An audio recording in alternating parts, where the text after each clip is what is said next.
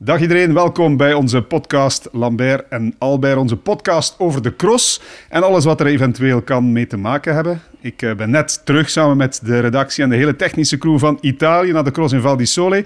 Niels, goedemiddag. Middag. Jij bent niet in Italië geraakt. Je hebt Nee. eh, thuis voor de open haard de cross gevolgd zoals eh, gebruikelijk, of hoe Eh, is jouw weekend verlopen? Ik heb in eh vertraagd relais gekeken. Ehm, ik had, Vertraagd relay. ja, hoe moet je dat zeggen? Hè? Uitgesteld uitgesteld relais. eh, relais, In delay, wa- zoiets. Whatever. Hè? Ja. Ehm, ik had eh, verplichtingen, familiale verplichtingen. Ik moest eh, meegaan kerst shoppen. Dus, De details Een duur weekend. een duur weekend. Dus eh, ja, ja, ja. Oké, eh, dus je hebt toch de cross gezien, maar op een andere manier. Ja. Ehm, ja, onze gasten aan de overkant, toch één van die twee gasten eh, was wel in Italië. Dag Bart Welles. Hey, goedemiddag. Hoe heb jij dat weekendje Italië logistiek aangepakt? Wanneer ben je teruggekeerd? Uh, we zijn heen gegaan zaterdagmorgen en ook deze morgen teruggekomen. Uh, maar eigenlijk hebben we de auto gisterenavond na de cross genomen om naar de luchthaven in Bergamo te rijden.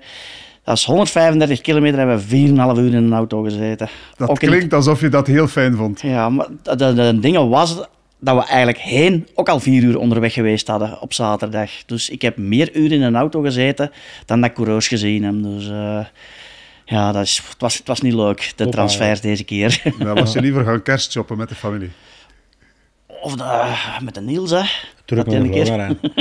Terug gaan dat, trainen. dat zou nog iets zijn. Ja, dat zou nog wel iets zijn. Misschien moeten we nog eens organiseren. Ja.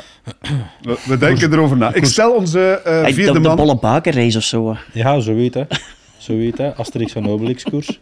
Maar Dus, nu eh, breng je ons wel op gedachten. Ja, dan zitten wij in de Het uitspreken is eigenlijk De al... Asterix-koers is dan voor de mannen gelijk eh, de Erwin nog en de Nijs. Dat zijn de scherpe mannen nog. En dan hebben de Obelixen, zo wat de Voilà. dikke. En dan kan Libeton ook nog eens mee rijden. Hè. Oké, Dus, is je het eh, overtuigen? Ja? Pff, misschien wel. Dus de startpremies is iedereen te overtuigen. Ah, Oké. Dat is een onderwerp geweest deze week. Ja, en dat nee. brengt ons naadloos bij onze vierde man in het gezelschap. Dag eh, Erwin Vervekke. Hey, Alles goed? alles goed, ja. Ja, het is fijn dat je er bent. En ehm, alle respect, hè, want die mannen hebben maar twee wereldtitels. Jij hebt er drie. Dus eh, onze grootste meneer aan eh, tafel hier in de zetel. Qua lengte wel, hè. Qua lengte stijg ik er eh, een paar centimeter bovenuit, zeker. Ja, maar qua lengte Maar- doe ik denk ik nog iets beter. Nee? Hoe groot ben jij, Erwin? 1,94. Ah, ik haal 1,96. Oké, Maar die, proficiat. ja, dankjewel. Maar die wereldtitels die gaan niet meer komen, dus eh, dat, dat gaat niet lukken. Eh, wat heb jij gedaan dit weekend en vandaag? Eh, ook eh, vandaag ben ik eh, deze morgen al naar Namen geweest, persconferentie. En ook het, ja, het parcours. Ze waren net beginnen opbouwen, dus ja, een paar cruciale punten met de parcoursploeg een keer overlopen. En gisteren gewoon tv gekeken naar de koers. Wat was het leukste? Koers kijken of parcours gaan bouwen, keuren? Dat is allebei wel leuk, hè. Zo'n zondag een keer in de zetel u afkappen, dan, dat moet ook af en toe kunnen. Wat eh, vond je van het parcours vandaag in Namen? Dat is in functie van zondag, wereldbekerwedstrijd in Namen. En eh, een cross die je mee organiseert en waar jij verantwoordelijk bent voor het parcours. Oh ja, namen is namen. Op dit moment ligt er dan nog eh, heel goed bij. Maar ik weet dat het met zaterdag met erop te trainen en dan zeker zondag de koers, dat dat vermoedelijk met deze weersomstandigheden toch weer redelijk kapot gaat liggen. En zeker de afdaling daar richting de kassei. Dus ja, even afwachten. Maar zal niet veel anders zijn dan andere jaren. We gaan veel hebben om over te praten de, in de aanloop naar die, naar die cross. Wat vond je van de cross gisteren? Uh, chic, ik vind, ik vind dat eigenlijk een van de leukste crossen om naar te kijken, omdat je daar, eh, ja, het is een, een heel ander type cross dan, dan wij gewend zijn. Hè. Uh, en, en ja, ook andere winnaars. Uh, ja, Joris Nieuwenhuis is nu wel iemand die heel goed bezig is, maar Manon Bakker is toch wel een uh, verrassing, denk ik. En ja, dat heeft toch ook heel veel te maken met het parcours. Dus, uh, en ik vind, het, ja, ik vind het wel leuk. Dus, we hadden vroeger zo Eén keer per jaar, twee keer per jaar, zo zegt een Er is toch een periode geweest, ik weet nog, Zolder is bekend afgelast geweest omdat ze niet mochten stronen op de tarmac. eh, Eigenlijk Ja, toen de wel, ijskoning eh Tom Meusen al de crossen won, dat was Hoogstraten, Lille, dat lag allemaal onder de sneeuw. Hè. Het is vooral de Maar laatste echte tien sneeuw jaar... was dat niet, hè. Het was meer zo bevroren Zo- parcours wel. Ja, Maar echt ja, ja. diep- dikke sneeuw. Maar diep, diepe sneeuw gelijk kinderen niet. Kinderen is ook een ander type sneeuw, hè. we hebben het er nog over gehad. Je wilt dan met een sneeuwbal naar iemand gooien en dat gaat niet. Je kunt dan geen sneeuwbal maken, dat is eh, gepakt sneeuw vast en dat, door je vinger is dat weg. Dus dat, maar dat maakt het daar dan ook zo lastig, hè. dat er s'nachts nog 5, 6 centimeter bijgesneeuwd. En dat is allemaal precies loszand wat je aan het doorrijden zei. Dat was echt een pure, pure powercross. En daarmee komen die jongens, ja, gelijk nieuw je nu wint, ja, dat is puur power. Ook Manon Bakker, ik verschiet daar niet van. Vorig jaar was hij ook op podium daar al. Dus ik verwacht die dat sowieso wel. Maar oké, het is nog wel sterk als je er Alvarado en Puk Pietersen oplegt. Maar het was, het was allee, een hele tour duwen. Zelfs op de baan. Maar toch ook een beetje, ja, kunnen sturen. Hè? Nee, Ja, nee. ik- ik heb- want je weet, niet waar je nooit gaat komen. geweest, maar, Als je eh, ziet, Puk Pietersen is de beste technische, zelfs die had problemen. Dat is, dat is het probleem daar, of probleem.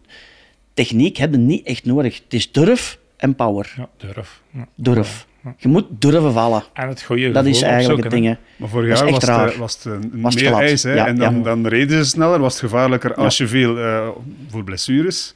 Maar was het misschien ook nog technischer dan toch? In Ja, ja in de vorig jaar wel. Vorig jaar moest oh ja, vooral ook de durf, want als je viel, viel je hard. Je ziet Fan van Empel, Elizabeth vorig jaar. Ehm, als je toen viel, dat was puur ijs. Dat was, dat was pijnlijk. Maar dit jaar, ja, je kon je gewoon een keer laten vallen en dat was zo pof. En gedaan. Allee, ik bedoel... ehm, Zoals in het zand. ja, ja, eh, dus dat is echt raar. En, en vorig jaar, bij, de, bij de, de dag voor de Wereldbeker, was eigenlijk net hetzelfde. Heel veel diepe sneeuw en dan puur powercross. En toen zagen we Mathieu daar rondrijden. En ik dacht van, ja, die wint die morgen met vijf minuten voor. Maar toen veranderde het parcours en zaterdaags was het ijs. En dat is de eerste keer in mijn hele leven dat ik Mathieu ook toen bang heb zien hebben op het ijs om op safety te rijden. En dat was dit jaar niet. Je moest gewoon rijden. En je kon wel eens schuiven en je ging wel eens een keer op, van links naar rechts. Maar eigenlijk was het Terwijl ik, terwijl, zeker bij de vrouwen, als je dan naar de koers zit te kijken, heb ik gewoon het gevoel van op een bepaald moment heeft Manon Bakker echt het goede gevoel te pakken en, en, en vertrouwen, hè? echt, echt Mhm. Ja, vertrouwen. en, en, en begint hij in die koers te komen en dan natuurlijk ja, in een situatie waar ze nooit in komt, heeft niks Mhm. te verliezen. Hè? Als, als ze daar eh, tweede of derde, was het nog altijd fantastisch geweest. Ja. Maar dan ineens de kans om te winnen en, en terwijl eh, Alvarado op kop meer en meer begint eh ja, te Maar die miste te naar de eerste bocht al, hè. sukkelen Die en, heeft die een eh, hele de een foutje. gereden, denk ik. Want puur conditioneel ja, kan je die twee meestal toch niet vergelijken. Hè. Moet Alvarado toch een pak beter zijn. Mhm. Maar het feit dat Bakker daar eh, ja, tegen het einde onder stoom kwam en echt eh, heel veel vertrouwen heeft toch ook... eh, het zal uiteraard ook wel een superdag geweest zijn. Maar het is toch ook een deel vertrouwen. Hè. Ja, vertrouwen, geen bang. Ik denk vooral in de dames, vooral, vooral in de damescategorie. Wij, wij bij ons, Julie Brouwers. Hè, Oké, dat is niet het, het, het grote toptalent, maar op een gegeven moment zie je die gewoon met schrik rijden. Die zit verkrampt op haar fiets en elke bocht gaat mis dan. En dat heeft niet te maken met goed kunnen sturen, slecht kunnen sturen. Nee, verkrampt op die fiets omdat je bang hebt. En zoals bij de jongens op een gegeven moment ook. Je ziet gewoon jongens heel snel rijden, die beginnen twee, drie fouten te maken en die verliezen vier, vijf plekken. Hè. Ja. En, en ja, vanaf dat je... Ja, zo ja, beginnen twijfelen, denk ik. En dan, gelijk als je moet durven fouten maken en voilà. een uur verder doen. En, en je weet dat je fouten gaat maken. Hè. Dat je een keer gaat vallen of dat je niet de perfecte koers kunt rijden. Dat je een keer met je voeten uit je pedalen gaat zitten en dat je een keer gaat, gaat ritsen. Ik denk dat dat, ehm, en ik denk dat, dat ook de, de sterkte was van Manon Bakker gisteren. Gewoon, ja, die deed gewoon verder. Die was haar ding aan het doen. En ehm, als je zag, hij was precies gewoon het parcours aan het verkennen. Hè. Gelijk als hij rondreed. Zo op éénzelfde tempo, gewoon rustig verder doen. En... Het is wel een specialiteit blijkbaar, hè? want het is niet toevallig waarschijnlijk dat ze vorig jaar al derde was. Oké, eh, deelnemersveld iets minder groot dan, dan bij veel crossen hier in, in, in België of Nederland. Ja. Maar ja, nu wint ze bij de mannen van de Putten. Ja, Vorig jaar Putten, tweede, nu weer tweede. Mhm. Dus sommige renners of rensters kunnen dat blijkbaar Ja. toch beter dan anderen, denk ik dan. Dat is, ook- dat is vertrouwen. Ja. Ja, je noemt ook namen. Het zijn sowieso geen sukkelaars. Hè. Gelijk Manon Bakker is... Allee, Nee, maar om, om eh, podium te rijden of te Ja. winnen, dat is toch wel opvallend. Ja, dan Ik weet misschien niet wel, hoeveel maar- crossen dat hij de laatste vijf jaar, ik bedoel echt klassementskoersen, op het podium heeft Ah, nee, gestaan. nee, niet. Dat niet, dat niet. Dus, Nee, ik denk dat ze vorig jaar voor het eerst op het podium stond in Ja. Val di Sole. En, En nu ik voor denk het dat eerst dat misschien eh, wel de enige cross is. Hè? Als je dan eh X2O en Super Precision meerekent, kan me niet inbeelden dat hij nog ergens anders eh, op een podium heeft gestaan. Ja, en Niels van de Putten die, die zei achteraf zelfs letterlijk van ik ben eigenlijk gekomen om te winnen, dus ik ben iets wat ontgoocheld met die tweede plaats. Oké, denk als hij de cross terugziet, dat hij, dat hij dik tevreden Op zal het zijn. Ja. het seizoen zal hij daar zeker tevreden mee zijn, want dat zal vermoedelijk wel een van zijn betere uitslagen worden. Maar ja, als, je, als je er vorig jaar eh, ook al zo kort bij was, dan moet je gewoon starten met het gedacht van ik kan hier winnen. Hè? Ja. Ja, want nu was Joris Nieuwenhuis er. eh, maar ja, voor hetzelfde geld, als hij er niet is, dan eh, rijdt Niels van der Putten daar heel ver weg. Hè? Ja, Oké, je hebt wel nog Van Toernout, die, die vorig jaar won, Iserpiet, Zweek, die gisteren niet hun beste dag hadden. Hè? Die, die, die zelfs het podium niet haalden uiteindelijk. ja, Michael en, en Eli zouden ook in het begin heel veel met schrik krijgen, vond ik. En dan op een gegeven moment komt Michael erdoor, eigenlijk terug het gevoel dat hij het jaar ervoor had. En dan zouden ze ook wegrijden van dat groepje en dan ging dat precies vlotter. Maar ja, natuurlijk, Nieuwnas was ronde 1 al 30 seconden weg, dus... En dan blijf verder wegrijden. hè. Ja, ja, ja. En Ik denk als je die rondetijden... Ja, ik, eh, de Dus- rondetijden waren toch... eh, ja, bleef, bleef uitlopen. Hè. Ja. Ja, ik denk wel dat Joran Nuiseur, zeker op een bepaald moment, de snelste De ronde snelste tijd ronde, had. Dus die heeft is ook ook een kort een geweldige tijd wedstrijd wat je bijna bij Niels bij ook, hè. maar dan is dan natuurlijk die kloof teruggewogen. Maar ik zeg het, ja, gelijk dat Erwin ook net zegt, het gaat veel om vertrouwen op zo'n sneeuw en ijs. Dat is ja, Ja, durf we hebben het durf. zelf ook ooit meegemaakt. Hè. We Ja. hebben de, bij ons was dat in, in die tijd ja, een paar WK's. in, Ja. in hoe was het mal zelfs? Waar dat Ja, alles, dat maar waar, dat was dan puur ijs. Ik denk dat jij, weet jij er ook nog niet? Zijn op mijn gezicht gegaan toen. Ah, oké, Ik voilà. Je ziet dat nog precies. Nee, dat is niet waar. Ja. Ja, ja. Dat is voor die bolle buik. Ja. Ach, jongens. Zeg maar, moeten we er terugkeren? Want ik, ik vond het geweldig. Ik ben er nu Mhm. drie keer geweest. Het is een fantastisch avontuur. Logistiek is het een, een hele opgave, zeker voor de renners en de, en de entourage. Ehm, ja, publiek gisteren viel dik tegen. Zeker in vergelijking met het eh, eerste jaar dat we er kwamen. Ja, zeg het maar. Dan gaan we terug naar Val di Sole volgend jaar. En van mij mag het blijven. Allee, Dat, is, dat is een mooie cross op de kalender en ik vind dat zeker voor thuis op tv te zien. Ik eh, vind dat die absoluut erbij hoort, want het is Ja. een heel aparte cross, hè, eh, uniek in zijn soort. Maar ja, het zal vooral afhangen van eh, de lokale situatie daar. eh, blijft daar iemand geld in pompen of niet? Hè? Dus, eh, Ja, maar dan eh, komen we bij een punt. Het is, dan gaat het puur om eh cent te geven en de cross mogen organiseren. Ik, ik vond het gisteren, op een bepaald moment hadden we het gevoel, corona is terug. Want er was zeker bij de vrouwenwedstrijd Ja. heel weinig En vooral volk, van achter aan de tour, waar dat dan die, die, die, die- ja, ik weet niet wat dat stond, er stond zo'n box te spelen. Allee, dat, dat zou het normaal ambiance-stuk moeten zijn. Er stond geen kat. Alles is Dus, er om ja. er een heel fantastisch ja. mooi evenement van te Ja, hebben. s morgens om 8 uur staat dat bandje daar al te spelen. Dus op zich, alle, alles hebben ze wel mee. Ze hebben dan alles gedacht. Maar, en je zegt ook logistiek moeilijk, maar op zich, het is maar even ver dan Flamanville in kilometers. Dus op zich is het niet zo heel moeilijk om daar te geraken. Ja, maar het is Bart, net je moet 1000 er wel nog kilometer. De Maar, in, dat is, dat is toch nog een hele onderneming voor die, voor die vrachtwagens, die, die campers en zo. Nee? maar iedereen is er toch geraakt. En allee, ja, ik vond dit niet zo heel moeilijk. Het is natuurlijk, als je met, gelijk wij met vliegtuig komen, wij moeten tonale over. En als het dan gesneeuwd heeft, kunnen we, kunnen we wel een probleem hebben. Ehm, maar dat, dat zijn dingen die je moet incalculeren. Als je de cross niet alleen in Vlaanderen wilt, moet het toch soms een beetje toegeeflijk zijn en zeggen van oké, we moeten dan een dag vroeger vertrekken. Maar Ik, ik, ik wil het vooral niet afbreken, in tegendeel, want ik vind het fantastisch, maar ja. ik, ja, ik altijd negatief heb, Niels. Ja, dat geef ik toe. Het glas is eh, half vol. Eh, ik stel alleen maar vast dat het in plaats van nog een stijgende lijn, wat, wat ja, deed Ja. wel dat vermoeden na de eerste eh, editie, gaat het naar beneden. Ja, het is niet gemakkelijk, denk ik, om, daar...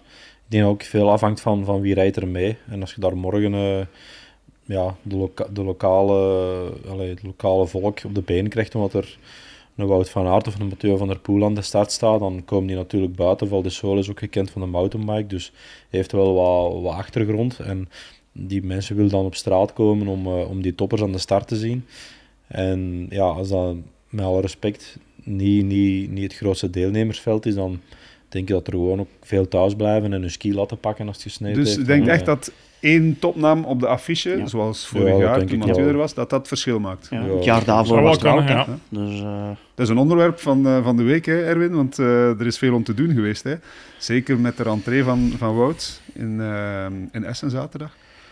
En het hele gedoe over startgelden en zo. Hoe, hoe belangrijk is dat nu? Kan je dat nog eens duiden? Ja, startgelden, uiteraard is dat een, eh, belangrijk voor de renners, hè, omdat ze daar een, eh, toch een, een groot deel van hun inkomen uithalen. Eh, maar, Maar voor de organisatie, want in Essen was het geen overrompeling. hè. Nee, nee, maar ja, ik heb die vraag in de week ook gekregen. Wat is nu zo'n een komst van een Mathieu of een Wout waard? En daar is echt heel moeilijk een be- bedrag op te plakken. Hè. Uiteraard hebben ze wel hun, hun vraagprijs. Maar wat is de return voor een organisator? Er, er zijn zoveel factoren die erin meespelen. Eh, en onder andere nu zaterdag in Essen, ja, heel slecht weer. Maar Ik denk niet dat er zoveel meer volk was dan ten opzichte van een normale editie. Maar eh, ja, dan kan je de vraag stellen, wat als Wout er niet had geweest? Hoeveel had er dan geweest? Dus, eh, maar dat het was vooral zo- heel slecht weer. Hè. Als je dan dat bekijkt, hè, je hebt daar waarschijnlijk een VIP-tent, worden VIP's ontvangen en als organisatie eigenlijk paar tafels meer kan verkopen, wat de woud rijdt en dan komen bedrijven. Je ziet die, vaak die mensen die aan de tour staan, maar het kan wel zijn dat ze door de komst van een, van een bekende naam vier, 400 fips meer hebben, ik zeg maar iets. Die allemaal hun tafel betalen Ja, en die ja, en allemaal een groep van de woud willen. uiteraard ook mee. hè. Dus ja, ik denk dat dat inderdaad een heel moeilijke oefening is om te maken. En ja, het zijn gewoon goede coureurs en moeten betaald worden, denk ik. En daarmee is dat, is dat vat af, denk ik. Eh, het is hun verdiensten en een organisator moet dat gewoon zelf weten of dat dat, dat, dat daarvoor over heeft, ja of nee. Of, ja. Maar we zijn het er wel over eens, een, een sneeuwcross één keer per jaar zou eigenlijk altijd op de kalender moeten staan. Ja, eh, zeker wel. En ik denk dat dat... Ja, het eerste jaar was dat gewoon het, het effect van een nieuwe cross, hè, eh, waar er altijd wel een hele hoop Belgen naartoe gaan.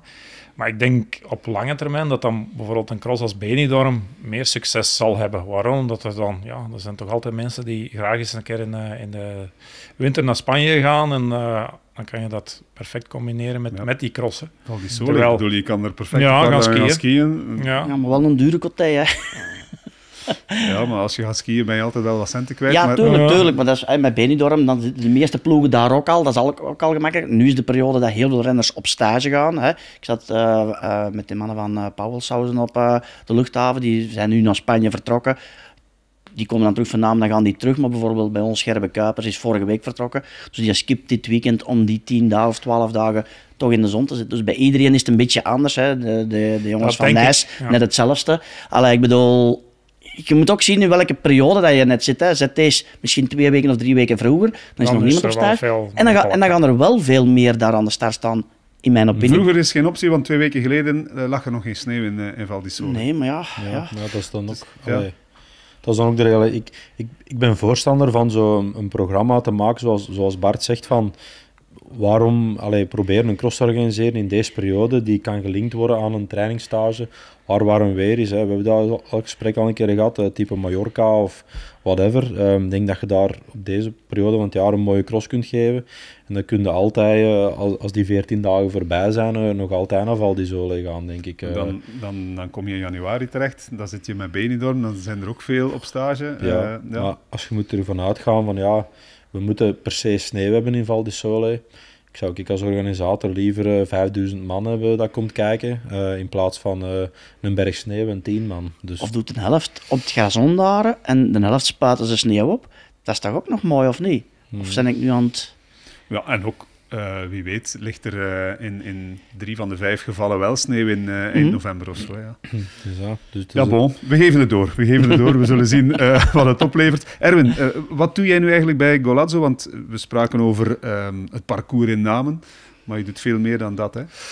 Ja, eigenlijk wel, want de cross is stilaan een heel veel, eh, kleiner deel van mijn, van mijn job geworden binnen, binnen Golazzo dan, eh, ja, dan zeg maar vijf jaar geleden. Of, of de eerste jaren, want ik zit er nu sinds 2010.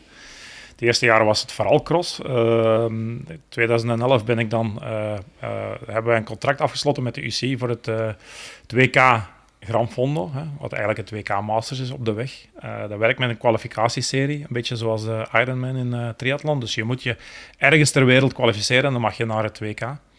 Dus dat doe ik sinds 2011 en dat zal nu in 2024 zijn er dat 30 wedstrijden. Hè? Australië, Japan, eh, noem maar op, Indonesië, maar ook langs de andere kant eh, Amerika, eh, ja, uiteraard nog merendeel in Europa. En dan in diezelfde optiek hebben we het, eh eh, het gravelen voorgesteld in 2019. Dus einde van het seizoen hadden wij een debriefing met de UCI. En dan, eh, ja, omdat gravel al een paar jaar groot aan het worden was, hè, dus sinds 2005 ongeveer eh, in Amerika eh, heel groot geworden en, en de laatste vijf jaar ook in, in Europa overgewaaid, hebben we daar het- hetzelfde concept van die UCI Grand Fondo World Series voorgesteld voor gravel. Het enige heel grote verschil is dat gravel ja, ondertussen eh, quasi een wereldbeker is, hè, want er rijden ook eh, de absolute toppers mee. Hè. Wout heeft dit jaar Hoefalize gewonnen.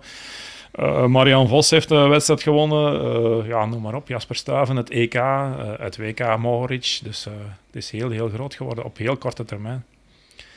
En dat is nu... Het is dus ook een kwalificatieserie voor het WK. En eh, in de UCI Gravel World Series volgend jaar hebben we 25 wedstrijden. Dus ja, 30 Grand Fondos, 25 gravelwedstrijden en dan nog een goede 20 crossen. Dus eh, ik weet wat gedaan. Ja, dat zou wel zijn. Is er nog plaats voor een ehm, eh, Asterix en Obelix eh, race? Of uh, Ik zal dat niet bij de ICI zijn? Ja, jongens, maar Conditioneel durf ik dat nog wel Mooi aan. eens meer hè, met Obelix als je wilt. We, hebben eens ooit eh, helemaal, als je denk ik het eerste jaar gestopt was, of het tweede jaar, hebben we nog eens zo'n koersje gedaan met de vijf ex-wereldkampioenen, Belgische wereldkampioenen in Hamme, Ja, voor het goede jongens. doel. Maar toen was Niels nog redelijk in conditie. Maar En uiteindelijk, ja, dat was toch nog spannend. Hè? We hebben moeten spurten. Hè? Het was ja. hard tegen hard, er was niks afgesproken. Nee, nee. Er was afgesproken dat we de eerste ronde niet elkaar gingen dooddoen. Hè? Dat was er min of meer afgesproken. Hè? De Polle was er ook nog bij en, eh, en Danny de Bie. Ja, maar de tweede ronde was het vol een bak koers. En uiteindelijk op de meet hadden we nog. Ja, ik, eh, ik verschoot er zelf van, maar ik heb echt afge... Ik kan nog zo voor de geest halen. dat was echt super lastig, joh. Ik weet nog dat jij doorrijden even dat water, dat ik dan mijn tenen moest uitkussen daar eh, in Hammen en dan straat op te dragen. Ik zeg, nou, staat alles of niks. eh. ik had mijn vrij losgezet, gelijk als een pol. En, en, eh, En dan komt de winnaar toch naar ja, boven. komt de winnaar toch naar boven. Ja, dat is raar, maar dan... Ik heb een paar jaar later eens meegedaan in Molland Silvermeer ook. Ja. En toen was ik al langer gestopt, maar de, Was dat Bonen Zeg, and Friends of ja, zoiets? ja, eh, ik zeg, dat, deze doe ik niet meer. Deze is niet meer plezant. Maar dat is ook niet plezant als je geen conditie hebt. Hè? Ik, eh, vorig jaar heb ik ook nog eh, zo'n koersje meegereden. Ook, meestal is dat dan twee ronden. Hè? Eh, eh, Specialized had toen een koersje georganiseerd. En op het Zilvermeer daar... pff, ja, dan, Ja, je wilt toch, hè? Je, De, je de eerste wilt- vijf allee, jaar gaat dat nog, hè?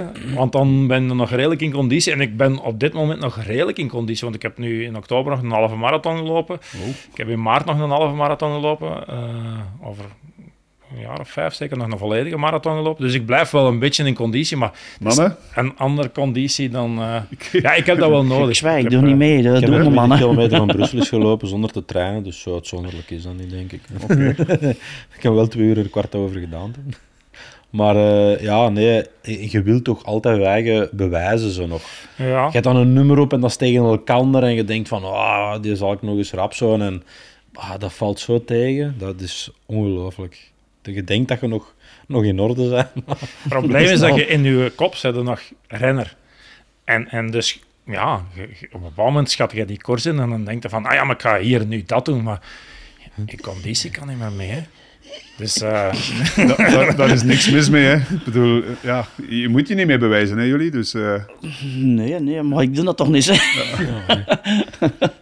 Nee, maar gelijk als ze zeggen, het is wel... hè, Ik, ik rijd dan, ai, de ene keer dat ik nog met de fiets rijd is op de woensdagen, want dan is dat de ploegtraining in het bos is over de stukken af te steken en een beetje allee, meer bezig te zijn met die mannen. Maar als ik dan zo snel moet zijn als die mannen een los doen, en ik moet wat snel zijn en te dikwijls, dan eh doen dan heel, ik- dikwijls heel veel vestjes aan, maar er zijn er al, altijd heel veel die dat er rap, eh, rap gaan uitgaan. Dus, Maar je hebt eh, zo'n goede elektrische crossflow nu, met gravelbannen.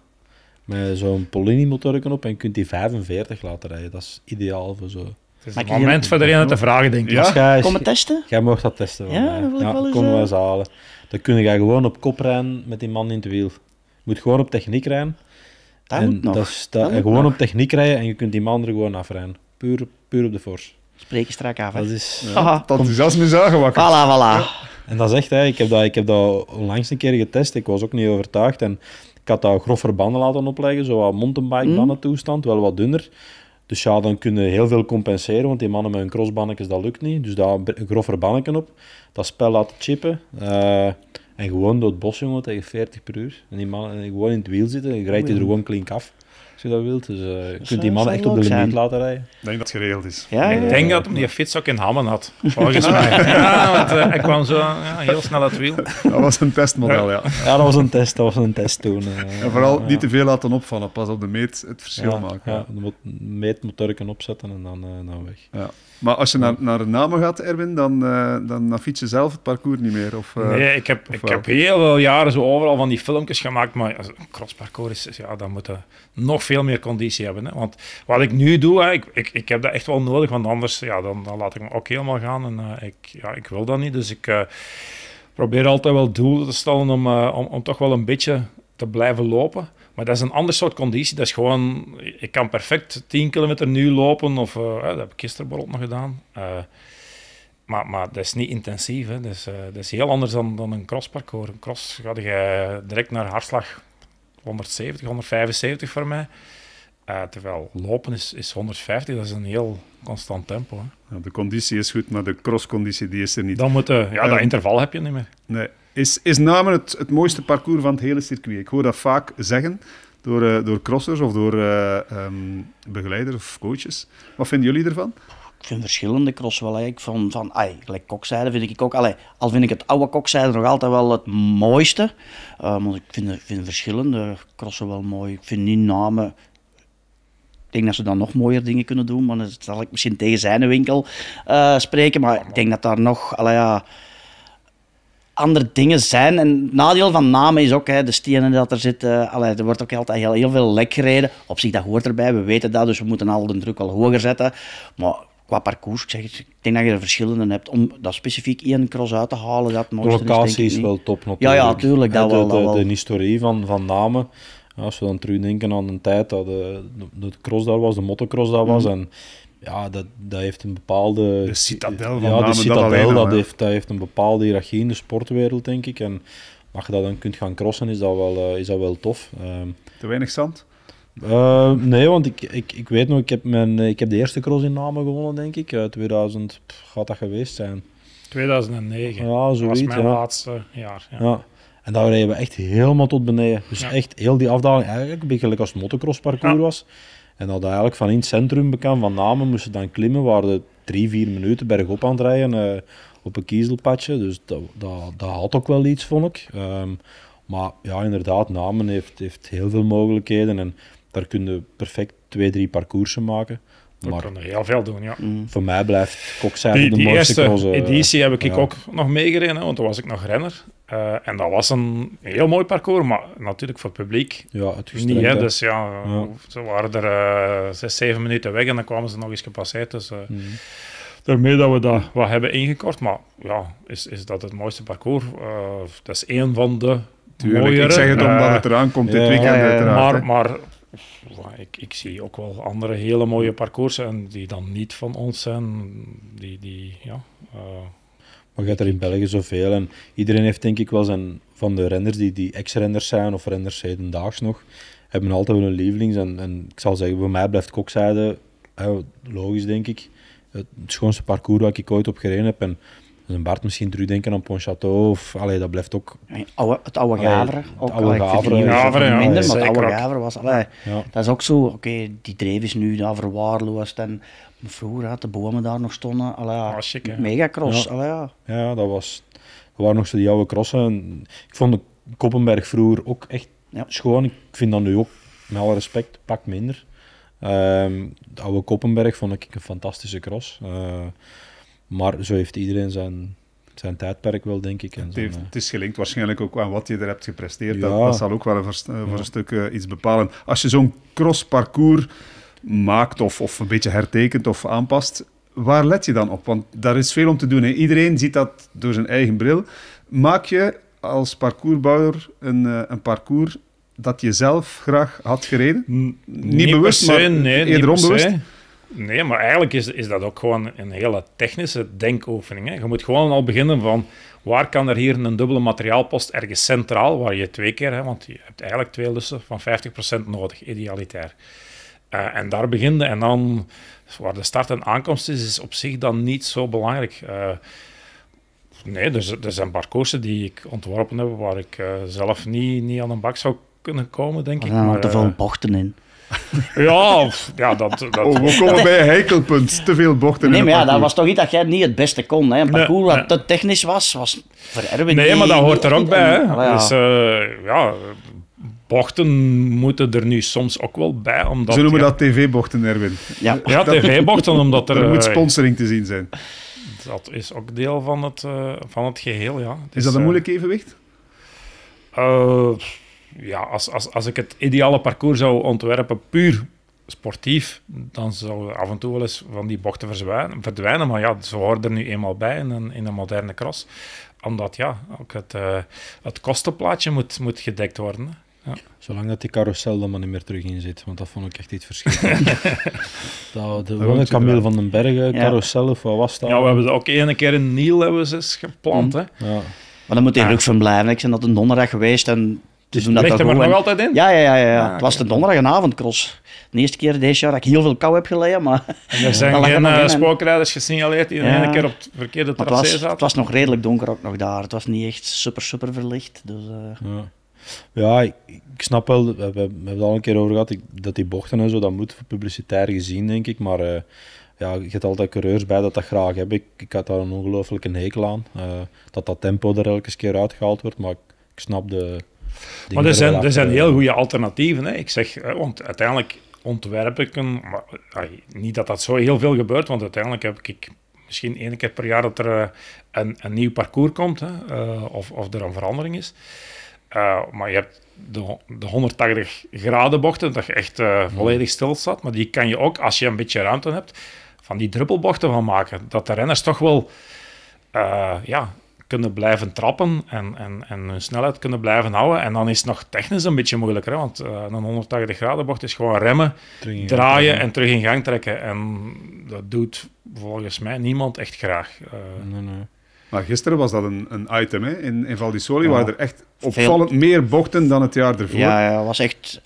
Allee, sommige dingen waren ook, en dan vroegen we ons af, hè, ik denk tijdens de verkenning waar, waar we jullie tegenkwamen, was dat ook zo van, je komt van die brug en je rijdt naar een tweede post, en dan leggen ze dan vier bochten in, die op niks een slogen, dat je denkt van, ja, ah ja, maar ja, die boog moet daar, en die ding moet daar, en daar komt er die bocht in.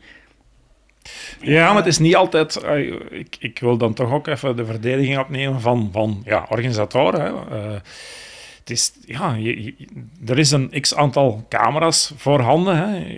Langs de productiekant is ook niet. Ja, tuurlijk. Maar die, trad ons bij, hè. Ja, maar Ja, ik snap het. de aller- Je, je de moet met de allereerste- camera zoveel mogelijk kunnen Ja, coveren. en, eh, en, en ik weet nog, de allereerste crossen vroeger live op tv, als ik nog heel jong was, hè, eh, voordat jullie bij de profs koersten. eh, ik- Gaveren was bijvoorbeeld een van de eerste crossen en dat was met zes camera's. Nu is een gemiddelde cross met twintig camera's. Eh, en, en het heeft heel veel jaren 14, 15 geweest. En, en ja, op een bepaald moment zijn er dan toch camera's bijgekomen. En van die marshals, hè, van die onbemande camera's. Eh, maar ja, het moet natuurlijk wel... Het moet, het moet allemaal bekostigd worden, hè. De, de productie... Ah, wel, minder bochten, kleiner een tour, minder camera's, dat- minder kosten. Dat was een, een item en inderdaad een onderwerp. Dat is toch nu, gisteren simpel? werden bij de, Allee, bij laat de ik- vrouwen vier ronden gereden. Op de Koppenberg zelfs maar drie. Ja. Ja. Als, je, als je zorgt dat er zes ronden zijn, dan, dan, dan heb je Ja. eh, minder tv-bochten nodig. ook. Dan Nee. worden ze evenveel gecoverd. Maar het UCI-reglement zegt op dit moment eh, een parcours moet tussen de 2,5 en de 3,5 kilometer zijn. Dus 2500 tot 3500 meter. Ik denk dat meer dan de driekwart van onze parcoursen tussen de 2,5 en de 2,8, 2,9 zijn. Hè? Want je kan natuurlijk niet altijd heel Mhm. nipt die 2,5 maken. Waarom? Minder opbouw, minder afbraak, eh, meer eh, zichtbaar voor het publiek, minder camera's nodig en zo. Maar als het, ja, zoals op de Koppenberg, ik denk niet dat we daar boven de drie kilometer komen. Ik zou het nu echt moeten opzoeken. Nee, maar Het als je daar gewoon een hele trage 200 cross, meter hè? uithaalt, is, is 200 meter bergop. Dat was een minuut, hè. Ja, ja, tuurlijk, tuurlijk. Ja. Ken je? Allee, dat vind ik soms... Ik vind, Ja. de mensen betalen, re- en ik ben blij dat die mensen nog altijd komen, redelijk wat entreegeld. En die zien dan drie keer de dames en vijf keer de jongens passeren. Bepaalde Maar je moet bussen- eh, ja. natuurlijk wel twee keer, hè, want de, de Koppenberg is ook nog eens heel specifiek. Waar ga je daar de materiaalpost leggen? Ja, maar ik heb het niet, Oftewel- alleen, over- ik heb het niet alleen over de Koppenberg. Ja. Ik vond dat gisteren ook. eh Dendermonde reden de dames ook een kwartier op een ronde. Ik- het is Ja. een tendens, de lange parcoursen, vind ik. Maar dan moeten we echt eens met een UCI rond tafel gaan zitten en zeggen van... Een parcours van twee kilometer, hè. Ja. Eh, hè, want en als- zeker als- qua als het- weersomstandigheden. Als het hè. eh, extreem weer is... Op de Koppenberg bijvoorbeeld, na de aankomst naar de materiaalpost, met het weer dat dit jaar was, was die lus na de materiaalpost rond die boom naar boven. Is dat. Gewoon schaans doorsteken, klaar. Dat was een minuut uit gewoon. Ja, maar dan ben je al heel snel terug de tweede materiaalpost. Dus dan heb je een lust 20% en Ja. een lust 80% naar beneden. Ja. Wat eigenlijk ook niet reglementair kan. Hè? Maar ja, en dat je kan tegen die flank ook niet die materiaalpost gaan VIP-tent ligt leggen. ook ongelukkig. Ja, dat is echt zo'n lus Dat zo- is echt helemaal beneden. Ja. Allee, die Ja, baan. Ik weet, die moet daar zijn en, en dat, dat is zo, maar die ligt daar ongelukkig. En je moet daar echt heen rijden. Ja, Maar, tuurlijk, maar ik denk dat we daar nog uren kunnen over babbelen. Tuurlijk, tuurlijk. Over dat, zoiets. Allee, ja, dat is We ook kunnen zo. de. Koppenberg niet herscheppen Nee, nee, nee, of opnieuw nee. graven. Hè. Hij ligt er zoals hij er ligt. En, eh, Dat- En, en, en de materiaalpost daar beneden is, ja, staat inderdaad die tent, maar die tent moet ook ergens geplaatst worden. Ja. Je kunt ze niet tegen de flank aanleggen. En dus boven is daar eh, de materiaalpost, omdat dat het enige vlakke Mhm. stuk is. Dus ja, eh, je, kan, ah, je kan dat in principe wel langs de helling, hè, maar bergaf naar materiaalpost. Heb je het Nee, gevoel, het dat, de, dat de ploegen inspraak hebben in, in zo'n dingen? Want, Nooit. eh, nee? We hebben twee jaar geleden toch eens na het seizoen een E- debriefing keer. gehad. Richard keer. Groenendaal Ja. zei dat dit weekend. Zegt hij, Ene keer. Ik, ik Hebben ze- heb eens, een toen hij als ploegleider ja, was, samen heb jij de ploegleider samengeroepen Ja. om, om eens te luisteren En, van wat vinden jullie ervan, waar kan er iets aan veranderd worden? En hij vond dat een heel positief signaal. Dus Maar zo'n dingen moeten meer gebeuren, vind ik. En, en, en zelfs ook met renners bij. Want nu zeggen we dikwijls, hè, en, en allee, ik bedoel, dat wij onder, onderling in de ploeg, als wij ploegtrainen, oh ja, maar dat parcours, dat. Maar er is, dat wordt nergens niet gehoord. Dus misschien is het wel het terug om in, in het leven Ja. te roepen, om, om te zeggen van, zie, gewoon één Absoluut. keer. En, en niet alleen met jullie, maar ook met de mensen van, van Vlaanders Classic, hè, Golazzo, een afvaardiging van renners, een afvaardiging van ploegen. En gewoon brainstormen. Wat, wat, wat maakt het een beetje, ja, kennen, wat dat voor mij goed kan zijn, is voor jullie slecht en is voor een ander ook weer eh, super. Dus, eh, Ik, allee, ik, ik heb heel wat ideeën eh, om, om het te veranderen, maar dan moet uiteraard ook de UCI meer rond tafel Ja, zitten. voilà. En, eh, en we kunnen voorstellen doen. Hè.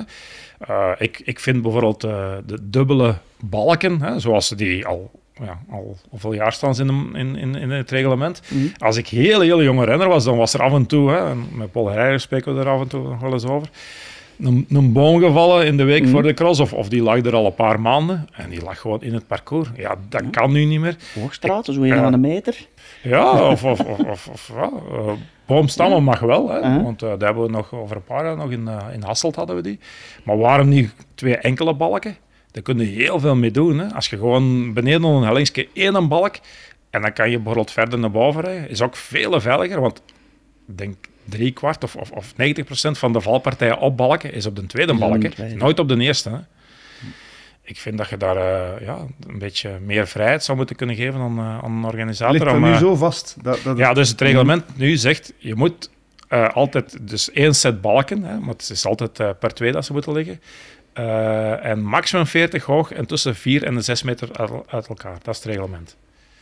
Maar met twee enkele balken kan je ook heel veel doen. Hè. Beneden aan een helling. Of, ja, weet ik veel, eh, voor, een, voor een zandbak in te rijden, een balk en dan, ja, ja Wa- Waarom is dat zo, te zo, gereglementeerd? Je zou toch inderdaad, iedereen zou toch gebaat zijn met een parcours. Dat is, daar zijn er keer twee, daar is het eens één, of daar liggen ze verder uit elkaar. ja. Dat lijkt mij toch. Ja, het parcours is zoals jullie het maken en dan wordt het gekeurd. Is het oké of is het niet oké? Ja, maar Ja. ik denk dat er al veel over geschreven en, en gezegd is, denk ik, over bepaalde reglementen. En ja, pff, ik weet nog goed, toen ik koerste, dan af en toe was er dan zo wel eens een discussie en dan... eh, ja, we gaan allemaal aan hetzelfde zeel trekken en eh, ja, de- deze gaan we wel niet toelaten.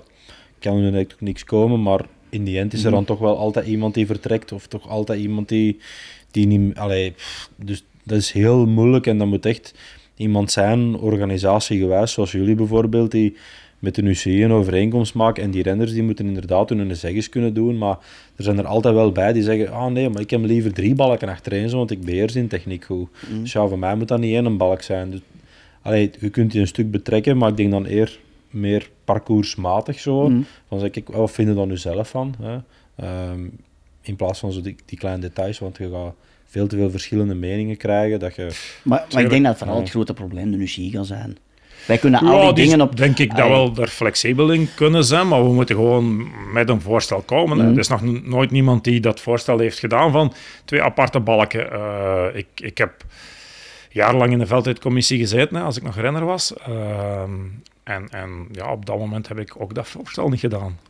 De- maar toen, waren, toen maar was het reglement nog anders hè, van de balken. Ja, ja, ja. Toen was het exact en toen 40 mocht- centimeter hoog en 4 meter uit elkaar. Eh, op een bepaald moment hebben ze dat uit elkaar getrokken, dat er eh, tussen de 4 en de 6 meter.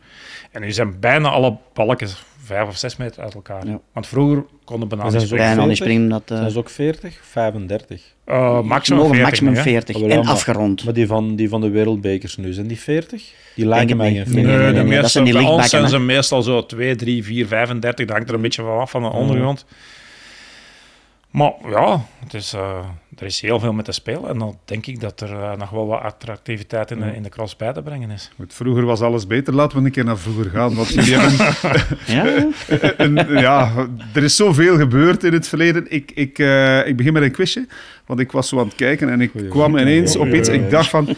Nee, Niels, gewoon één vraagje voor jou. Hoeveel WK's heeft Erwin Vervekke gereden bij de pros? Goh. De eerste, eh, een van de eerste schat ik eh 94, zo, 3,94 kokzijde. was een van de eerste WK's bij de profs, denk ik. En dan een van zijn laatste, misschien mei mee, 2009, met hoger rijden of zo. Misschien nog een jaar later. Dus ja, van 94 tot 2009 zou ik schatten. Dus zoiets, ja. We komen aardig in de buurt, Erwin. Volgens mij heeft hij dat opgezocht, jongen. Nee, nee, nee, nee, nee. Je zou Maar ik, ik kan mij de Was cross... hem gebriefd van tevoren? Of, Nee, nee, nee, niet, nee, nee. maar ik, ik weet goed dat jij een jonge gast waart eh, in de tijd van, dus inderdaad, kokzijde, 94. En dan, Derde, eh, achter Paul Herregers en Richard Ja, Groenendaal. ja. En zijn laatste WK, denk ik, was mijn eerste wereldtitel in hoogrijden. Ja, daarna nog. Tabor, als Ah, ja, Dus-. Dat is een tijdspanne van 17 jaar. Nee, 16 jaar. 17 WK's. Maar heb je ze ook allemaal gereden, Erwin?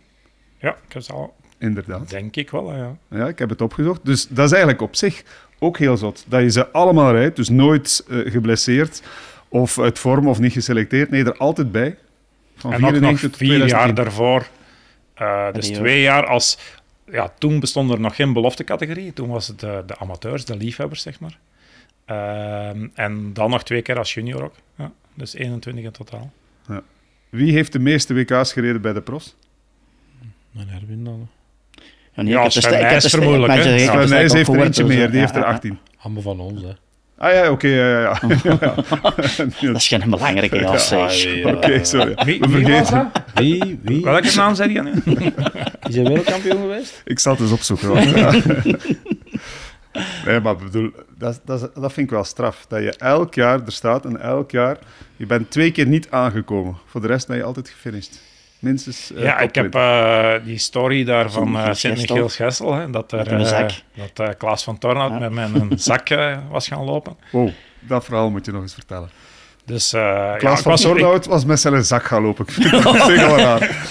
Ja. Eh, nee, ik was gaan opwarmen zoals iedereen, ja, tussen, tussen drie uur of, of tweeënhalf uur en anderhalf uur voor de wedstrijd. En ik kom in de kleedkamer en ja, we waren nog wat aan het uitleggen. En op een bepaald moment eh, ga ik met een eh, zak zoeken waar ja, al, al het materiaal in zat. Hè. Dus proper schoenen, met een koerspakje, met een rugnummer, met een helm. Voor eh, de, ja, mij klaar te maken voor de start. En we hadden toen nog van BioRacer, de sponsor van een bond, allemaal dezelfde zak. Eh, een grijze zak met geel en... En Klaas had dus per ongeluk mijn zak meegenomen uit de kle- kleedkamer, want Klaas was toen nog junior. Had de wedstrijd 's morgens gereden en hij was vertrokken met die zak in zijn auto gaan zetten en naar het parcours gegaan. En dat was 2000, dus eh, ja, was wel de begintijd van gsm, want niemand had die en zijn gsm-nummer dan of zo. En, eh, en ja, het was eh, even een paniekje. En ik heb, denk ik, 20 minuten voor de start mijn zak teruggekregen. Dus heel snel alles moeten aandoen. Opwarming zat er helemaal niet meer in. Op de eerste rij vertrokken. En ik denk dat ik twee ronden heb gereden. En eh koers was voorbij. Wow. En, Overstrest. ja, volledig beginnen flippen en geen, geen koers meer kunnen rijden. Nee. En dan, welk heb ik nog niet gereden? Eh, niet, niet uitgereden. Moet ik even... Ik eh, Nou. heb het eh, ergens staan. Ehm, Zo is het gemakkelijk. Natuurlijk, tuurlijk. Ja, ja. Dat is mijn rol, hè. Ehm, Niels, ook in uh, Heusden-Zolder, 2002. Ah ja, ja, Maar toen ja, had de ja, ketting. Ja. Nieuwe veelal. Ja. Ik weet het nog. ja, splinternieuwe Ja. fiets. We kregen alle twee een nieuwe. We hij- kregen een nieuwe fiets van, eh, van de constructeur toen. En eh, ik had er wel heel de week mee getraind, hè, want het was zo Mhm. van, ja, je hebt die fiets eh, vlak voor de start vastgepakt. Nee, nee, we hadden Mhm. er wel heel de week Ja. mee getraind. Dus je was perfect in orde, maar ja, tijdens de koers toch eh, versnelling in het wiel. En ja, koers voorbij. Dat was in 2002. Ja. Tussen die twee opgaves, of eh, ja, inderdaad opgaves, werd je wel voor het eerst wereldkampioen in, eh, in Tabor. Hè? Ja. Dat was ehm, Mag een ik- beklijvende mag ik- finish. Hè? Wat gekregen, hè. Oh, ja, Gekregen. zo. Oh, ja, Gekregen, ja, ja, niet nog en en dat dingen, dus ja. Ah, Ik denk dat mijn laatste storting nu... de laatste storting is gebeurd. Ja. Het Mario de Klerk, ehm duwtje Met bij, Blask. Blask. Ja. Ja. maar ik denk dat hem zo ook gewonnen had. Hè. Ja, op dat moment was het ja, was niet ver meer. Hè. Dus Dus, Maar dat was uit liefde voor jou dat hij dat extra duwtje gegeven had, zeker. twee, alles wat twee er al... eh, buddies. Hè. Ja, twee boezemvrienden. You go way back, hè. Nee, ja, dat was natuurlijk wel... Ja, op dat moment was eh, er al wel wat pit geweest. Hè. Dat was zo de periode... Ik weet nog, toen hadden we echt eh, elke keer eh, de, de dagen voor het WK zo'n soort crisismeetingske, hè, want dat en dat en dat mocht er niet gebeuren. Terwijl, ja, eigenlijk iedereen... Moeten we heel eerlijk zijn, iedereen re- reed voor zichzelf. Hè. Maar logisch is, hè. Jullie Logisch komen is- allemaal wereldkampioen. wij, zelfs wij zijn veel jaren ploegmaten geweest. Ja, iedereen staat er met een eigen agenda. Dat is om zelf te winnen. Hè. En als het jou natuurlijk heel goed uitkomt, dan zal je misschien wel in de rol van, van helper u, u, uzelf duwen, maar vooral ook omdat het jou op dat moment goed uitkomt. Hè. Ja. Leg nog een keer uit aan de mensen die, die het niet meer weten, 2001, hoe de finish precies was. Want het was een beklijvende finale. Ja, dus eh, we gingen de laatste ronde in met z'n drieën. Eh, Peter Last, die daar de koers van zijn leven rijdt, hè, want eh, ja, die was Thuisrijder toen. Ja, thuisrijder. En, eh, en die heeft er de hele laatste ronde...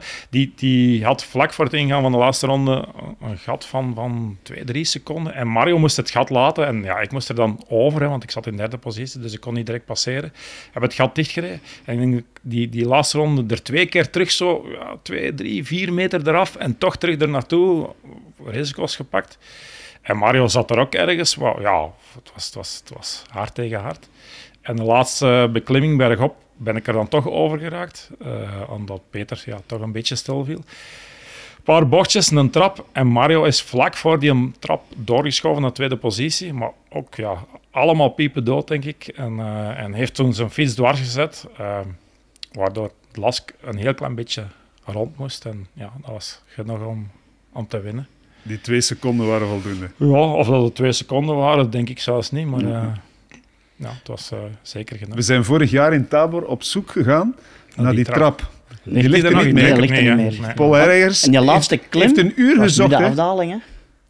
Ja, en, Ja. en hij heeft, heeft echt een uur gezocht naar die, naar die trap. Ja. Eh, niet gevonden, maar dan wel de plek gevonden waar die lag. Want dan hebben we op YouTube die finale oké. zitten zoeken, Ja. daar ter plekke. En dan eh, zagen we daar een gebouw staan, in de achtergrond, een school of zo. ja, school. En dan wisten we van, hier was het. En, eh, en ja, het was Ik heb, een mijn, mooi mijn- moment. ik heb mijn eerste wereldtitel gepakt bij de juniors in 2004. Eh, eh, sorry, Europees kampioen. 2004 in, eh, in Tabor. En als ik nu daar aankom, ik kan daar echt heen wandelen wat in trap lag. Zonder eigenlijk, dat weet ik. Ik ook nog wel zijn. ongeveer. Wa- Want het is gewoon een bosje, of Ja, ja, ja, ja, het ja, is een is nu, onkruid ja, of ja, whatever. In ieder geval, je kan niet geloven dat er daar cross werd. Waar nu de afdaling richting de aankomst is, kwam de Gelle toen naar boven. Ja. En dan gewoon rechtsaf, Rechts naar dat beneden, padje in. En dan die trap eigenlijk. Ja, de aankomst eh, lag er toen nog boven, nu Ja. ligt ze helemaal beneden. Ehm, maar dat, er dat is- was... Er is nog zo'n manoeuvre geweest in Sankt Wendel. Hetzelfde manoeuvre ongeveer. Hè? Maar toen Dat was eh, de had ik Belgen, het, zeker? eh, het nadeel. Ja. Toen werd Sven Nys, die, die andere renner waar we het net over Wie? hadden, die werd toen wereldkampioen. Hè. En, eh, Ah, had die trui op, de groei had gekregen daar. Hè? die ging, dat was die trouw van de Obelix-koers. ja. Juist. En wat, wat, wat was de manoeuvre daar?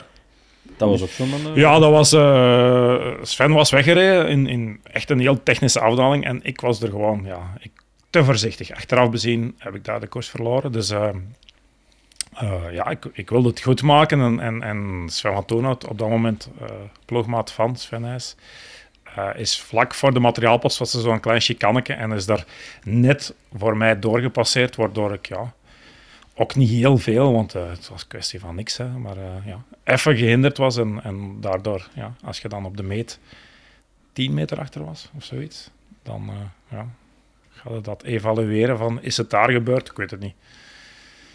Maar het was in ieder geval ja, chic gedaan. Ja, en zo, zo heeft elk WK, zeker in die periode, had elk WK zijn, zijn verhaal. Hè. Het, was, het was altijd close, of toch Ik meestal. weet dat, dat de Bart nog eens een keer met een brief is afgekomen voor, maar ik weet al niet meer de aanleiding.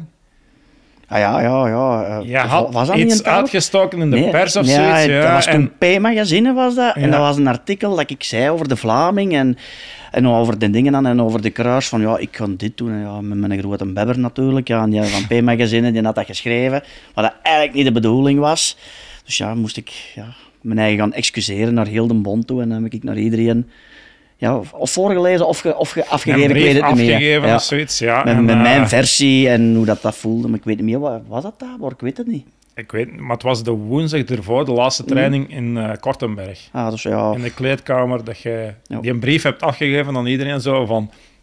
Hè, iedereen direct lezen in de, in de kleedkamer. lekker officieel. Ja. Een brief. ja, ik zei denk ik, ja. ja, ik weet niet, ja. Ik wist dat ik iets misdaan had of miszegd had en dan moest Maar ik wat, had je dan verkeerd gezegd? Ja, ik weet niet meer over wat dat ging, dat ik alleen van mijn eigen ook ging rijden en ik had dan... Ja, dat, De Vlaming zo, ja, iets van, van ja, seniel genoemd of zo. eh, Allee, snap, het was redelijk grof geweest. En dan werd echt letterlijk... Ik, denk- ik dat P-magazine was, ik ben niet honderd, maar ik denk het wel. En dan kwam dat echt letterlijk in. En ik had dan gezegd, ja, ik heb dat niet gezegd, maar hij had dat dus blijkbaar opgenomen. Dus ja, ik kon al niet terug. Dus moest, moest ik sowieso mijn excuses aanbieden. Ik woord wilde, ik wilde ook geen hetsen maken. Dus, eh welk? Het woord seniel is redelijk duidelijk. Ja, ja, ja, dus dat was echt wel, en ik moest echt wel, ja, ja, sorry zeggen. Dus ja, dan ben ik er ook niet, allee, te groot voor om dat te zeggen. Dus ja, en dan, Maar, maar- vaak wordt er iets gezegd in een interview gezaan, babbelen en, en ik wil ook wel een stuk kader, want ik heb in mijn leven ook wel eens stomme stoten gezegd. Maar Echt? vaak, ja, soms wel. Maar vaak zit je in een interview en, en je begint Mhm. te babbelen en ik kan me dat goed voorstellen. Je, wilt eigenlijk iets uitleggen van, ah, de Vlaming, eigenlijk gezegd, hè, is seniel, maar je, wilt dat eigenlijk zo niet bedoelen. Meer zo, ja, hij is al wat ouder en ik heb een andere, een ander idee over een koers. En, en je zegt eigenlijk iets dat je op die moment niet 100% bedoelt. En ja, dat is, ja, maar als je dat dan kunt toegeven. Ja, Maar achteraf was toch alles eh, goed, toch, Erwin? Of niet? Ja, ik denk het wel, hè. ja, ik, ik, ben, maar, ik, ik ben aan het denken over welk WK dat, dat was. Ja, ik weet het Jij toen mogen winnen in Zeddam. Hij is zijn. Frans toen Nee, ik denk dat het was veel vroeger. Het was Ja, ja, het was vroeger. vroeger, het was vroeger. Ik denk dat het oftewel Solder, oftewel Monopoly, of, of, of nog ervoor. Of Tabor misschien, of Tabor Ja, misschien ja, wel. Dat moet, Ja. dat moet geweest zijn voordat, voordat ik WK's gereden heb, want ik heb geen één WK gereden onder leiding van de Vlaming. Dus dat moet voor Monopoly gebeurd zijn, want Monopoly was volgens mij de Rudy al. alle twee, ja, denk ik. ja, zo nog Als je zoveel WK's zo, rijdt, dan, dan eh, zijn er wel veel verhalen natuurlijk. Ja. Maar la- laten we ons nog eens beperken tot de WK's die je gewonnen hebt. Want inderdaad, Zedam was het tweede wereldtitel van jou. En daar was jij getuige op de eerste rij. Ja, Dat was een, een Fransman die zich daar ineens mengde eh, in de debatten. Moret. Ja, ja. Dat was zo, ja. En aan de laatste was dat eigenlijk een beetje die klik. Ja, ja we wisten dat Merwin in de finale in gingen. Dat kon altijd iets speciaal, altijd. Ook in een gewoon koers, dat was niet alleen 2K, maar als je Merwin de laatste ronde in ging, en dan, ik denk dat dan de voorlaatste ronde al, al was, ja, die moment dat je dan bij Moret zit, weten van, ja, nee, ik kan het misschien wel, maar als ik dan die Fransman meepak, ja, dan ben ik ook de dupe. En dan ben ik dan op plaatsen nog wel van weggereden, maar toen had jij al, denk ik, 30, 25, 30 seconden. Nee, eh, was ja, het Ja, aan de ja, was er twee wel. seconden voor aan de finish. Ja, aan de finish wel, maar ik denk bij het ingaan van de laatste ronde dat je wel al die, die 25 seconden had of 30 seconden. het was Dus, spannend eh, in de laatste ronde. denk Ja, ik, ik denk dat we Maar de laatste ronde al- hebben we met heeft vier. altijd blijven druk Ja, want zetten. dat is hè. die, die koers dat eh, Sven in de In- laatste afdaling daar... eh, Voor, voorlaatste, om, niet? Voorlaatste? Of laatste? Ja, Het was in de laatste ronde, maar Ja, ja. Is, is hem onderuit gegaan. En eh, ja, er was niet heel veel voorsprong. Mhm. Want ik weet dat dat eigenlijk een van de weinige koersen is dat we echt samen hebben gereden. Ja, ja. Dat was ook een heel tactische koers. Hè. Dat was eh, ja, dus, dus nooit echt volledig de gas opengetrokken. Het was, het was, op een bepaald moment reden we dan met 15 samen. Hè. Ja. Dat was 2006, hè? Ja. En het jaar daarna, 2007, komen we in hoogleden gids. En daar, dat eh, daar kan je ook verhalen over vertellen. Eh, eigenlijk, als je er nu op terugkijkt, ik heb vanmorgen nog eens een, een samenvatting zitten bekijken. Eh, eerst de waterbak, of hoe je het ook noemt. Ja, ja, ja. ja, ja. Bart, ja denk dat ik dat al genoeg er is heb een motaar tegen die, tegen die eh, Ja, dat waren allemaal eh, van die jerseys die al los stonden, waar dat overal maar 10 centimeter of 12 centimeter water in stond. Eh, dus ja, elke klein dat dat tegen shot of duwt. Dus nu die motaar, dat was toen ook de dingen dat eh, ja, VRT toen met een cameraman erop reed. En uit beelden is dan bewezen dat hij eigenlijk met de voetjes van zijn, eh, wat het, eh, van die aan een brommer staan voor op te steunen, net zo'n bak raakt. En daardoor wordt dan eigenlijk de toer op gecatapulteerd, de moment dat ik en Sven eraan komen. Hè. Dus eh, ja, ik ga er los over, Sven over mij. Ik denk dat jij net iets daarachter waar er nog na- naast kon. Dus eh, ja, is er gewoon ja, los over en de koers was over. Hè. Dus ja, Je bent wel nog vierde geworden, zag ik. ja. en daarna, dat reg- dat- en daarna dat- rechtstreeks naar, naar de kliniek, want mijn pols was gebroken. Dus eh, Dat heeft nog, denk zeven jaar of acht jaar uh, geduurd. Dat is, want we hebben dan een klacht ingediend bij de politierechtbank. Ehm, omdat het eigenlijk om een verkeersongeval ging. Dus dat, was echt, dat heeft acht jaar nog geduurd. Dus uh, dat was echt wel omdat wij vonden dat... Ja, die brommer had er niet hoeven te zijn, die bak hoefde daar niet te staan. Dat moest op een reglementaire manier vastgemaakt worden. Dus maar dat heeft acht jaar geduurd eer dat dat dan... En dan hebben we minderlijke schikking uh, aanvaard, omdat we er niet uitkwamen. Op een gegeven moment kregen we een tegeneis, zelfs dat ik mijn pols expres gebroken had. Dus dan hebben we gezegd van, we stoppen ermee. Dit is, dit is ja, waanzin. Ja, maar sportief kon je toch niks meer terugdraaien? Het ging gewoon Nee, maar het ging om, om de verdiensten. Als ik daar... Ik heb, ik heb nog altijd het gevoel, oké, misschien hoort Erwin dat niet graag, maar ik had nog altijd het gevoel dat ik die een dag... Ik was daar al aan het wegrijden, Tour 1 ik had dan een enorm goede dag, de dag dat ik moest hebben voor een WK. En dat is misschien de enige cross dat ik nu achteraf kan zeggen dat ik die had moeten winnen. En dat probeerden we te bewijzen, want ja, dat was voor mij financieel achteraf wel een heel groot verschil. Ik ken een keer, mee, een keer meer wereldkampioen, hij een keer minder. Dan had ik hier nu drie keer en hij maar twee keer. Hè. Ja, maar ah, ik bedoel... Dat is, toch goed zo? maar ik bedoel, maar, allee, en, en die periode was dat wel, wel belangrijk voor mij om, om te weten van, zie, ja, er moet ergens iets zijn. En, en ja, ja, je, kan, je kan een wedstrijd verliezen omdat er iemand anders beter is of omdat ah, wel, je fout gemaakt hebt. Maar als je moment het dat er je onrecht wordt aangedaan... Ja, ik was toen ook heel furieus achteraf. Zo, kennen. Je komt aan en, en ik weet nog in een interview dat, in eerste, dat, ik, dat ik zei van oh, de nerven verdient dan niet. En dat ik dan achteraf natuurlijk ook wel spijt van dat je die moment dat gezegd hebt. Maar die moment ja, voelde, voelde dat echt zo aan van nee, ik had hier moeten winnen. Door die falen bak is dat niet gebeurd. Maar, zwart. Maar kon je die, die motaar iets verwijten? Want die, die, dat is toch... Ja, ja maar op een gegeven moment, ik denk dat, dat de verzekeringskwestie ging op een gegeven moment over de verzekering van de Belgische Bond, de verzekering van de UCI, de verzekering van die mens op die motor, de verzekering van de motor zelf, want dat was niet zijn motor, de verzekering van het uh, uh, domein van Hoogleden, was van uh, begeleid wonen, was dat domein, die zat erbij in. Dus er waren echt zoveel partijen, dat was echt enorm als je, als je dat zag, wat dat er, ja over gezegd is geweest achteraf. Ja, dat was eigenlijk absurd. Echt absurd. En de ene stuurde naar daar en de andere was deze een fout en dan was dat een deze een fout. op een gegeven moment kwam dan de fout bij mij te liggen dat ik het zelf gedaan had. Dus ja, en dan hebben we het opgegeven. maar dan moest die dag wel een wereldkampioen zijn. En, en uh, dat, dat, dat leek zelfs nog een, uh, een buitenlander te worden na al die Belgen die, die kandidaat-winnaar waren. Hè. Page was de Amerikaan hm. waar je het moest mee uitvechten. Inderdaad, ja. Maar op een gegeven moment hoe hij dat veel over kop, voor hetzelfde ja, geld breekt hij zijn nek. Hè? Na die, ah, bij die geval heb ik er nog kunnen rondrijden, want uh, de, de, ik, ik, ging inderdaad op een paar meter en... Uh, en uh, dus ja, die, die hebben... Maar de ene keer kom ik daar alleen voorop, wat helemaal niet mijn planning was. En ja, ik had toen ook direct beslist, ik rij hier gewoon mijn, rustig mijn tempo, want ja, het was nog veel te vroeg in de koers. En ik was ook geen renner om een uur helemaal alleen vooruit te rijden. Dat kon ik niet en, en dat wilde ik ook niet. Uh, en dan denk ik een halve ronde later ga ik ook serieus over kop. Uh, in het spoor waar Page dan de laatste ronde in vast zit. Hè. Um, en dat is misschien mijn geluk geweest, want ja, ten eerste kom ik dan terug in het groepje erachter. Uh, maar dan wist ik ook van, dat spoor moet ik niet meer nemen. Ja, want als ja, sporen vormen zich tijdens de koers, hè, dat verandert constant. Hè. En ja, ik wist wel, dan moet ik absoluut wegblijven. En dan denk ik nog een ronde later ben ik dan nog eens heel lullig met Sven uh, een bocht onderuit, mijn zadel scheef. Ik, ik denk, hè, want eh, op een moment zitten wij bijna terug bij elkaar in de buurt. Hè. Uh, ik, ik 12 en, en, en Bart 13.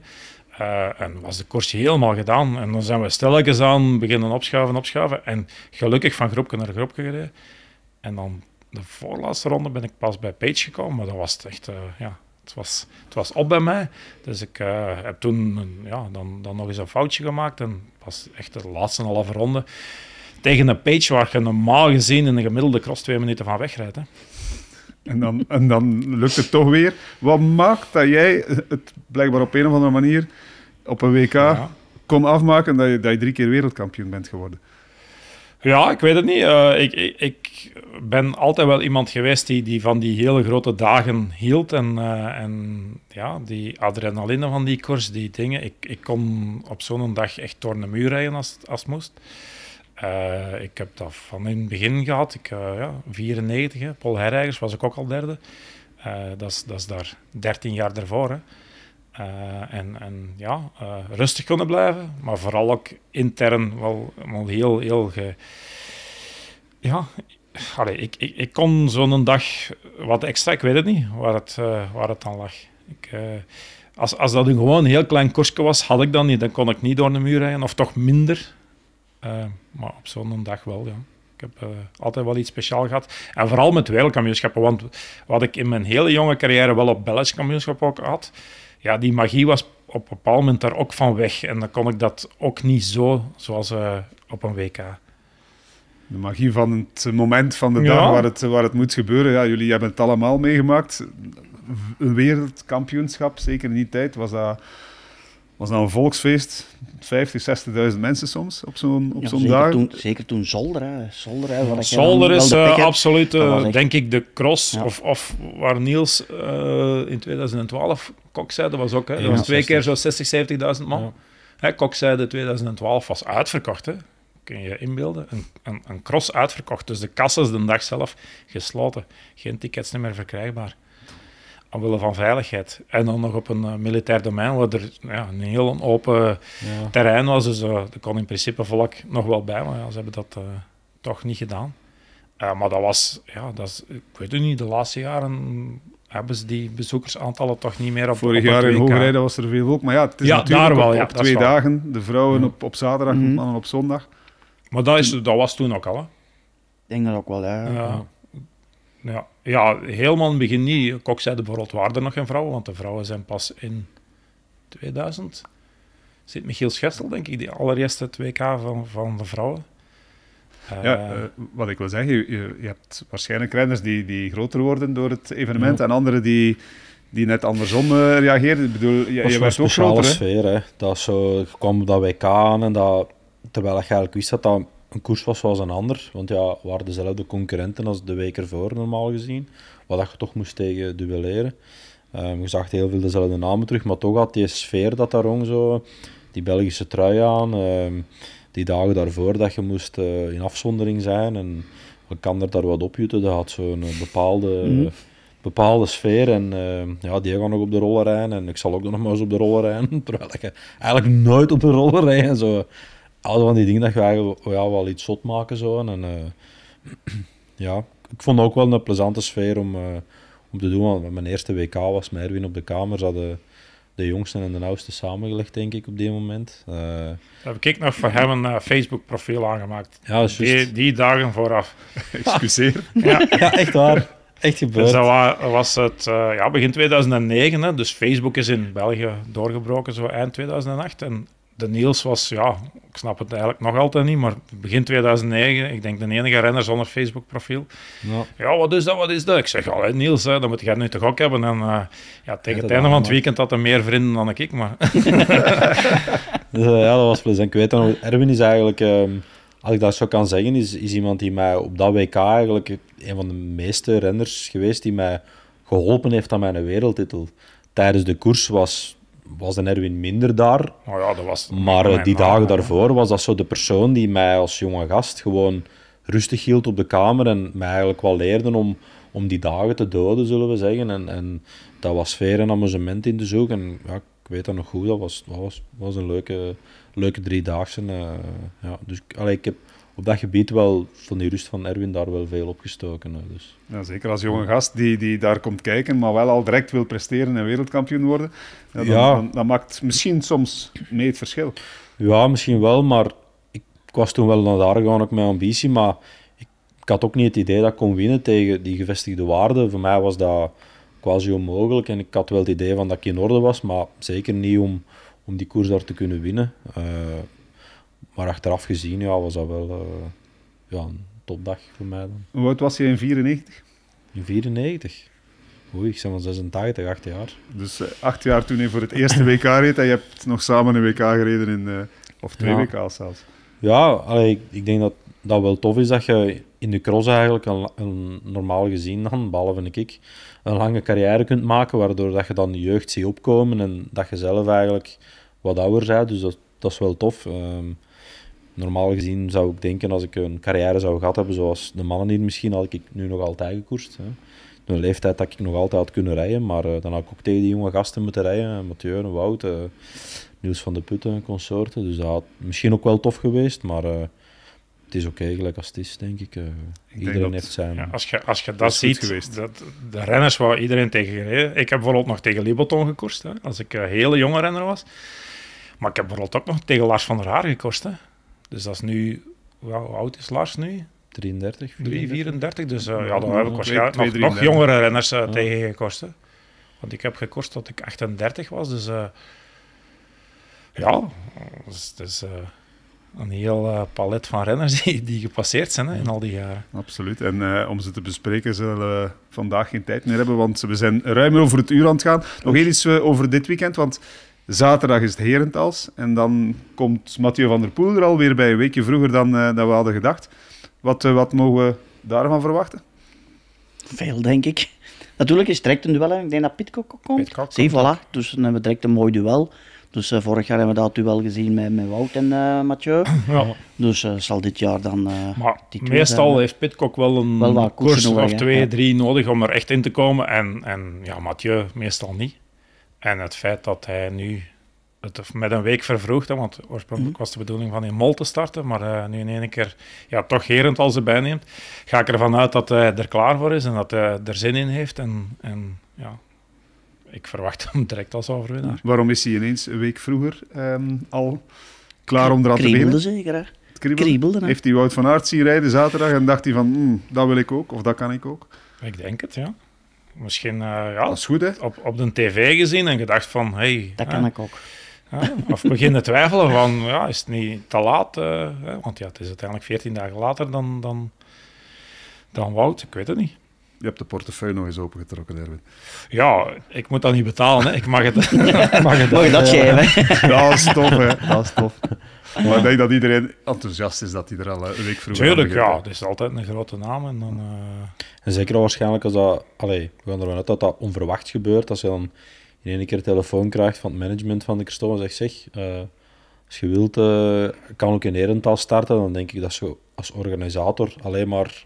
tuurlijk. Allee, Mhm. Dat je Ja. maar één telefoon moet doen naar je sponsor om te zeggen, zeg, hebben we nog budget om eh, een Mathieu te laten starten? Dat, gaat, dat is op 10 minuten geregeld, denk ik. En Herentals is ook de thuishaven van de ploeg. Hè. Allee, Ja. ik bedoel, allee, dat zal Ik er denk dat misschien, er dat misschien- ook ik wel denk dat er dat misschien mee ook te wel mee te maken mee heeft. Hè. Dat is ook wel leuk. Ze moeten niet de grote verplaatsing maken. Hè. Ik denk dat alle servicekoers op anderhalve kilometer van, van, van de Tour is. Hmm. Dus uh, allee, ja, Ja. ik denk dat dat misschien ook wel uh, een tikkeltje bijgedragen heeft. In ieder geval geweldig dat hij eraan begint. En ook uh, Tom Pitcock en binnenkort in die drukke einde, uh, eindejaarsperiode pardon, nog uh, extra duels met ook Wout van Aert en alle anderen. Die er dan hopelijk wel zijn, want we hebben ze van het weekend toch een beetje gemist. Uh, al die goede renners in het veld. Erwin, dankjewel dat hij er was hier vandaag. En uh, ook Bart, dankjewel. Niels, bedankt. Geen bossenbollen deze keer. Maar ik heb geen bossenbollen gegeten voor een halve. Heb ik gegeten. Dat is een heel discussie nu. Maar ik, ga er, ik zal de volgende keer ik zal het meebrengen. Want we hebben iets mee van Italië. Ik ga blijven nee, achtervolgen. uh, u bedankt voor het kijken en luisteren. Volgende week een nieuwe aflevering. En dan hebben we het uh, over die crossen onder meer in Herentals en Namen. Tot dan.